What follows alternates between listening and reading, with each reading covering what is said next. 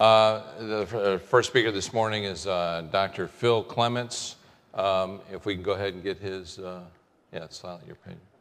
Uh, Dr. Clements is a native of Indiana. He received his bachelor's at Purdue, his medical degree in Indiana, and um, he did his training at Indiana University. No, he didn't. He did his training at Cedars, and he was a fellow then in rheumatology at UCLA, and uh, joined the faculty at the uh, at UCLA. And he's uh, been co-editor of Systemic Sclerosis textbook. He's editor of the Scleroderma Care and Research. He's been past president of the Scleroderma Trials Consortium. He's received uh, research awards. He's got 134 papers, 34 book chapters, and two books. And he's going to speak this morning on interstitial lung disease and systemic scler- uh, sclerosis.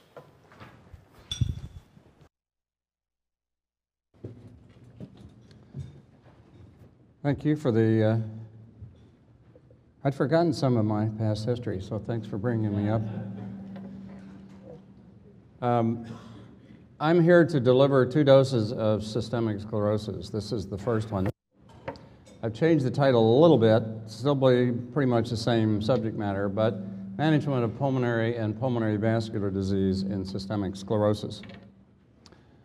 Um, I've actually been a sclerodermatologist for 39 years, a rheumatologist for 40.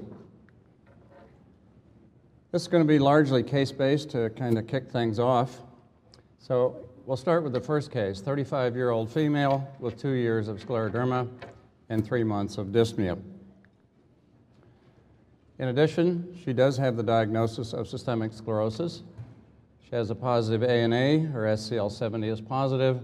She has six months of GERD, not a cigarette smoker, and her only medicines are nifedipine and omeprazole. Physically, her vital signs are normal. She has thick skin on the face, trunk, arms, and legs, and thus she has diffuse cutaneous scleroderma as her skin manifestation of systemic sclerosis. She has inspiratory arousal late, cardiac exam is normal, CBC chem and chest x-ray are normal. I'd like to define terms because I'm going to be using limited and diffuse um, throughout both talks. So diffuse is the one where people develop thick skin on the upper arms, the chest, the belly, or the thigh. If they do that, they usually get the distal upper extremities, the face, and many times the lower extremities. On the other hand, limited never gets above the knees, never above the uh, elbows, and may affect the face but doesn't go below the clavicles. The best time to make this determination of whether someone is diffuse or limited is in the first three years because that is when the skin is at its worst in diffuse cutaneous scleroderma. So which of the following is the most appropriate test? Ventilation perfusion scan, gallium scan, bronchoprovocation testing, or complete PFTs. Now you can make your decision in your head, and I'm going to eliminate the ones that I think are less correct one at a time. We don't think she has asthma, so bronchoprovocation is probably not the correct answer. Gallium scans we gave up years ago as being way too uh, false positive, way too false negative. If we thought she had a blood clot, ventilation perfusion scan would be the appropriate one, but her story doesn't really suggest that. So we are now left with complete PFTs. Now, the forced vital capacity is probably our best single indicator of interstitial disease. It drops below 75% in about 40% of scleroderma patients.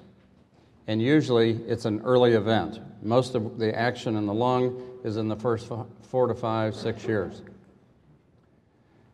10% will get severe restriction, less than uh, 55% predicted of the vital capacity.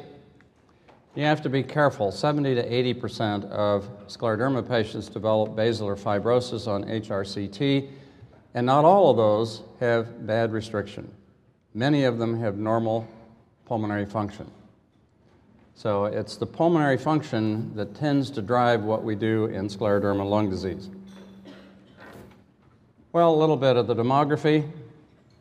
When I was a fellow years ago, um, renal crisis was the most feared complication. They'd come in, they'd be disastrous. They'd look like they'd have vasculitis and TTP and all kinds of bad things. We'd do everything we could to save them, and they died. 95%, six months. Then Captopril became available in 1980, and you will notice that things really didn't change a whole lot early on. It's only later when docs became very comfortable using ACE inhibitors for diabetes, for heart disease, hypertension, that suddenly we see the risk of renal crisis death going down. It is not zero. And I will point this out several times. Uh, 20 to 25 percent of patients with renal crisis, renal failure, will die in the first year. So we don't have the cure, but we made big strides. And in its place, um, pulmonary and pulmonary vascular disease are now the leading causes of death. And it's about 50 50. So about half of them are pulmonary hypertension, half are interstitial lung disease. Well, what is the prevalence in scleroderma? Um, and there aren't many distinctions between limited and diffuse as regards interstitial lung disease, and maybe there is a little in pulmonary hypertension, but there is a false notion out there that limited disease doesn't get into trouble. Discard that. 40% of the people that came into scleroderma lung study uh, had interstitial lung disease with moderate restriction or above, and they behaved exactly the same way as the diffuse.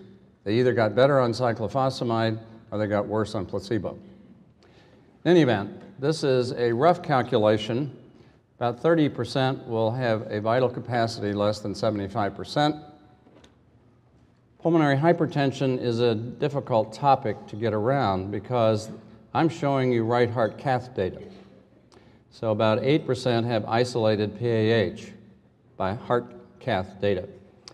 This group is underrepresented, under-examined, undertreated, um, and unfortunately is the most difficult combination of problems you can get in this area.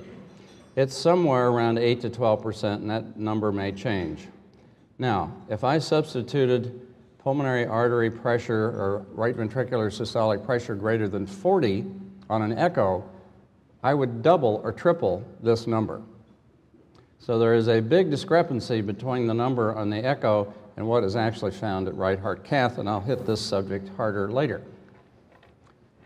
Well, let's start with interstitial lung disease.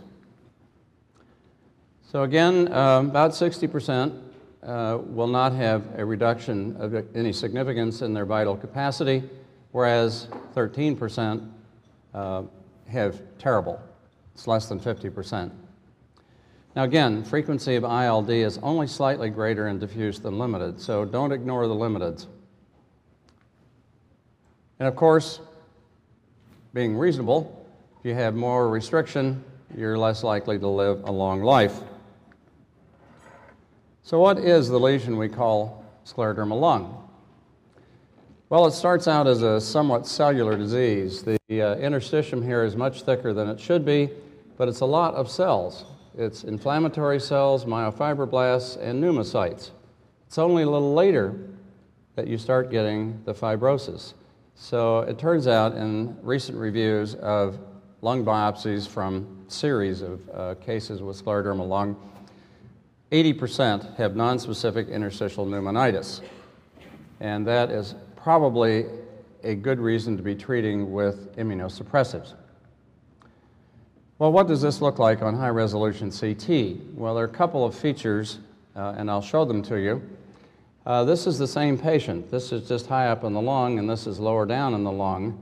And the action is lower in the lung. So a lot of what I have to say pertains to what goes on primarily in the lower parts of the lung. What you see here is this kind of gray fuzzy stuff. It's almost 40 or 50% of the lung field is filled with this ground glass appearance. Well, what is ground glass? Well, 10 years ago when we started scleroderma lung study, we thought it was inflammation. 10 years later, we think it is probably sub-resolution fibrosis. What that means is collagen